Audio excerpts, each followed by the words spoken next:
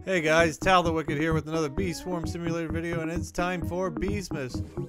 I just got this beautiful mythic egg here from the uh, mythic box, gift box, and so I'm going to buy, I've got enough honey to buy my next hive slot.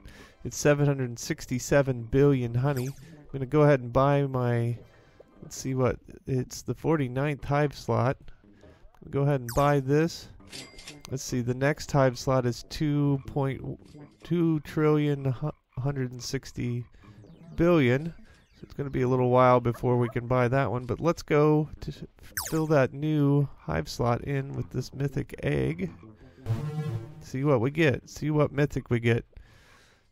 If you want, put uh, let's take uh, take bets down in the uh, if you can pick which mythic egg I get before I choose it, put it down in the comments. Let's see what we get.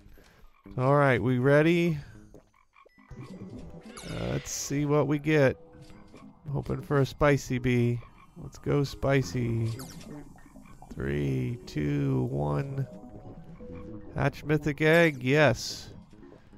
Hatching a, or transforming a bee will your Robo Bear chance. Oh, we don't want to do that. So Hey, don't forget, uh, I will make another video when I end my Robo Bear challenge, and we'll put this mythic egg in there. Apparently, you can buy hive slots, but not put the eggs in there. So I'll be back when I get the finish my current Robo Bear challenge. Like and subscribe. Bye, guys.